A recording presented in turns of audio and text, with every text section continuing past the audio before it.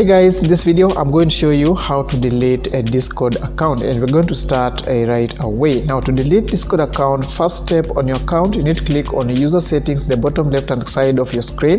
Then next under user settings on my account, uh, go to your right, then scroll down and here we have a disable and delete account. Now if you choose disable, uh, this means you can recover your account at any given time if you want.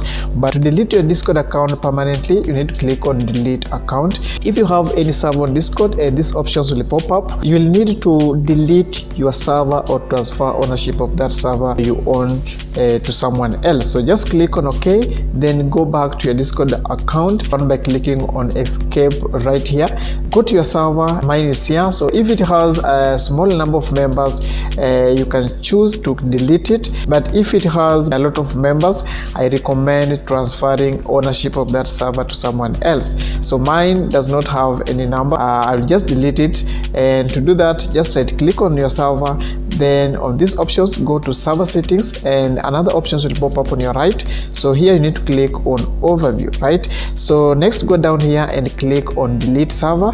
Then on this pop-up you will be asked to type in the name of the server you want to delete. So just go ahead and do it. Then click on delete server.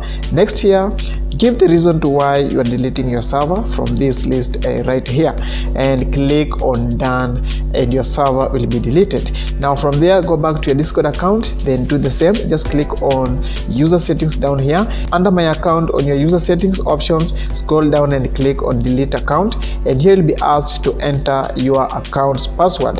Then once you're done just click on delete account and your discord account will be permanently deleted. So guys that's how you can delete uh, your discord accounts. So i hope you found this video useful. If you did please don't forget to leave a like subscribe if you're new and i'll see you in the next video. Bye bye